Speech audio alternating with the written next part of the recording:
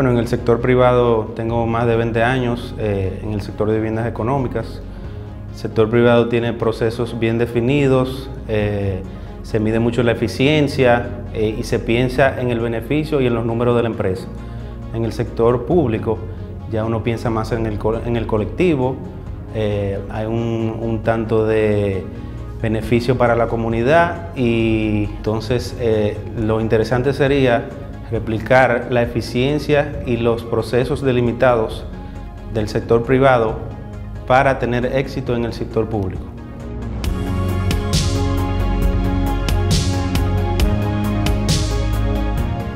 Bueno, yo creo que cuando uno alcanza cierto nivel de éxito en, su empresa o, en la sociedad, eh, es bueno devolver parte de esa suerte que ha tenido y servir a su país. Yo creo que el presidente Luis Abinader me ha dado una oportunidad de servir a mi país, la cual voy a aprovechar al, máximo.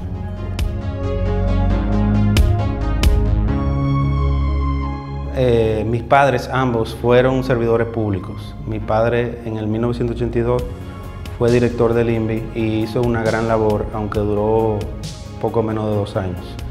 Quiero tratar de replicar esa misma labor que él hizo reduciendo el déficit tanto cuantitativo como cualitativo de viviendas y eh, uno de los deseos y la promesa de campaña del presidente Luis Abinader es crear el Ministerio de la Vivienda y tengo esa encomienda y quiero dejar ese legado para el país y cumplirle eh, al presidente Luis Abinader.